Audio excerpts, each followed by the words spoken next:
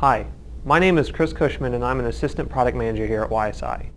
So my focus is on our laboratory products, such as our YSI TruLab, which you see here, and our YSI Multilab, which you can see in the back. I also focus on sampling products, such as the YSI Pro Plus and the YSI Pro DSS. So today I'm going to talk with you, talk to you about uh, one of our new lab electrodes, the YSI TruLine Ammonia ISE.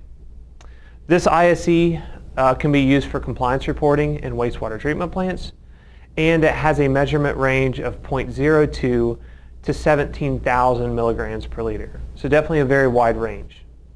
So the ammonia ISE has two main structures. It has a pH electrode and it has a membrane module. So what happens is the pH electrode fits inside of the membrane module and there is some internal fill solution that is then placed in the membrane module.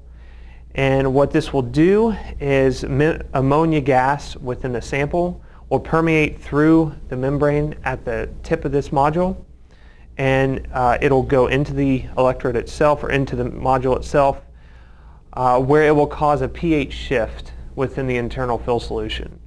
That pH shift is then detected by the electrode and that pH shift can then be correlated to ammonia concentration uh, after you've calibrated the electrode.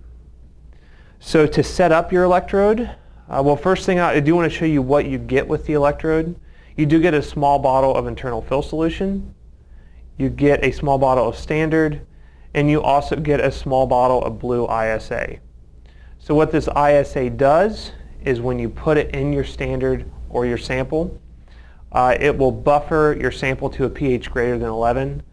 And what that does is cause the ammonia in the sample to become gaseous, which then allows it to permeate through this permeable membrane. Uh, so to set it up, what we'll do is we will place 15 to 20 milliliters, or 15 to 20 drops rather, of internal fill solution in this membrane module.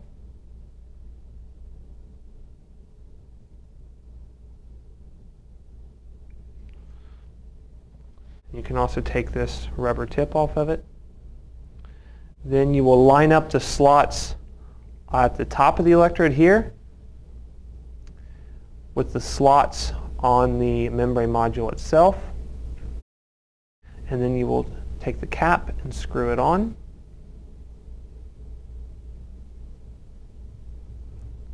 Once you've done that, it is ready to be used, but I would recommend conditioning the electrode in a low concentration uh, solution.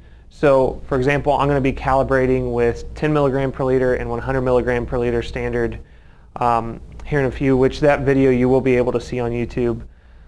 Uh, so what I've done is created a little solution of 10 milligram per liter standard and I'm going to soak my electrode in it for about 15 minutes or so. Um, one thing I did want to mention too is this soaker bottle that is included on your pH electrode when it, it's shipped to you has pH 4 buffer and it also has a solution of potassium chloride as well. So that uh, pH 4 buffer and potassium chloride solution is the best to use when storing your electrode. So you'll want to keep that soaker cap for later use. Um, so that is how you set up your ammonia electrode. Uh, I will calibrate it and you will be able to see that calibration video also on our YouTube channel.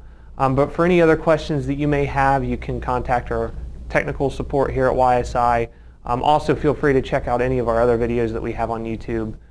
Um, and I hope you found this brief setup video helpful. Thank you.